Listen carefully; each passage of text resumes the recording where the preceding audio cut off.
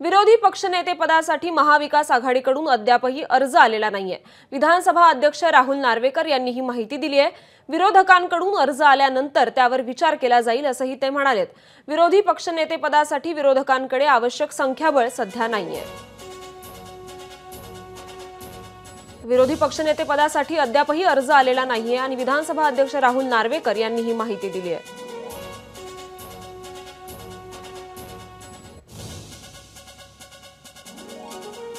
या संदर्भातले अधिकचे अपडेट्स येत आहेत. आपले प्रतिनिधी अभिषेक मुठाळ.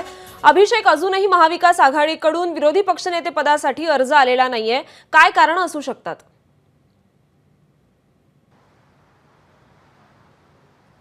नक्कीच जर का या संदर्भात पाहायचं तर विरोधी पक्ष प- विरोधी पक्ष पद मिळावं या संदर्भातली मागणी जी आहे ती विरोधकांकडनं आपल्याला होताना पाहायला मिळालेली होती. वि- विशेष अधिवेशनामध्ये देखील एकूणच विधानसभा अध्यक्षपदासाठी कुठेतरी माघार घेत विरोधी पक्ष नेतेपद मिळावं यासाठी मुख्यमंत्र्यांसोबत देखील आपल्याला चर्चा जी आहे ती महाविकास आघाडीकडनं करण्यात आलेली होती. मात्र अद्यापपर्यंत कोणतीही जी विचारणा असेल किंवा मग अर्ज असेल असा विधानसभा अध्यक्षांना अजूनही प्राप्त झाला नसल्याची माहिती जी आहे त्यांच्याकडनं देण्यात आलेली आहे.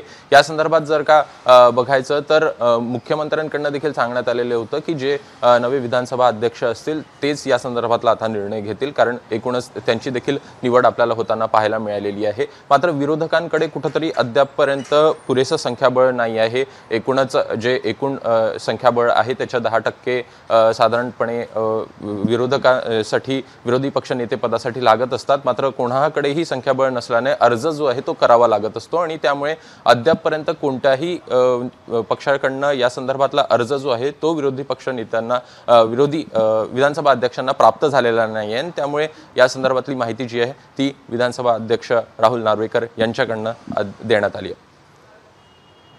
नक्कीच अभिषेक या घडामोडींकडे आपलं लक्ष असेलच. धन्यवाद आपण दिलेल्या या सविस्तर माहितीसाठी. एबीपी माझा. उघडा डोळे बघा नीट.